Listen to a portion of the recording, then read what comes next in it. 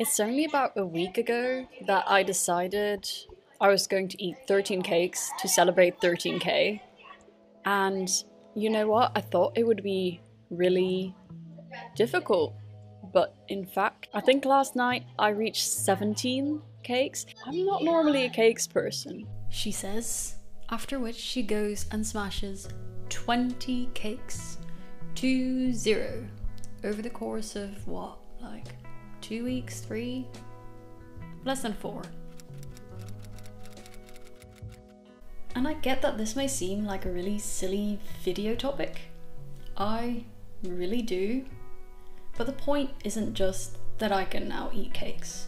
A lot of cakes. The thing is, I reached 13k subscribers. I am so incredibly grateful for that.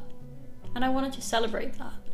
And with celebrating comes eating cakes. And it's okay to celebrate with cake, lots of cake. And the world won't suddenly explode my health won't suddenly go down a drain. I won't suddenly gain lots and lots of weight. After all of these cakes, I'm still me. So yeah, when I started this challenge, I was a bit worried because off the top of my head, I couldn't even think of 13 different cakes. And that's when I realized they don't necessarily need to be different cakes. So here's what I've had so far. I have had a brownie. I have had a berry cheesecake. I have had a tiramisu. I've had a cinnamon roll. I don't know if that counts. Um, I've had another brownie. I have had matcha cake. I have had passion fruit cake. And then I have had a chocolate donut. I then had about seven. Yeah, so how much is that? Five, six, seven, eight, nine, plus seven. 16. Oof. Yeah. I then had about seven banana breads at this local bakery, and once again, I don't know if that counts. It's banana bread. It's not technically cake, but you know, it's flour, butter, sugar. It's everything you put in a cake, and it looks like a slice of cake.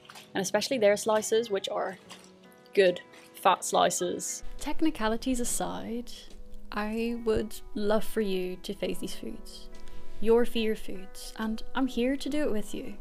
That's what this video is all about. During my recovery, I ate cake, I ate chocolate pudding, I ate ice cream, I ate bread every single day, and it's by doing this, by challenging myself, that I overcame these fears. So join me and face your fear foods.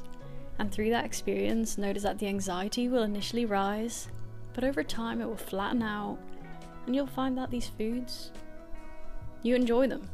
You can have them when you're out spontaneously with friends without worrying, without feeling guilty, without feeling ashamed. You will notice that you can beat the eating disorder. You'll also notice that rather than harm you in some way or other, these foods actually help you mentally and physically.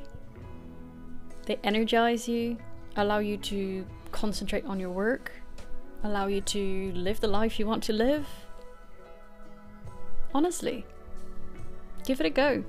So, you know how people say that when you eat too much sugar, you get really like sluggish?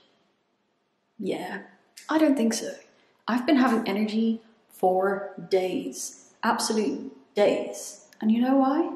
That's because carbohydrates, sugar, it's your body's preferred energy source. Let me know your favourite cake in the comments below.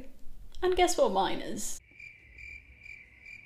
It is by facing these foods, by having sugar every day, butter every day, the foods you enjoy, the foods that maybe you fear right now, every single day, that it gets easier and that you find out that, you know, I don't think I look any different than I did a week and a half ago.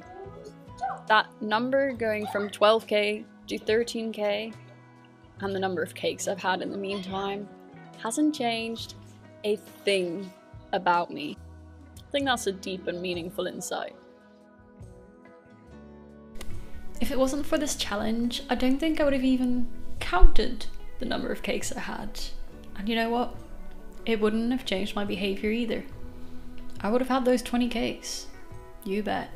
Did it change anything about my appearance? I doubt it.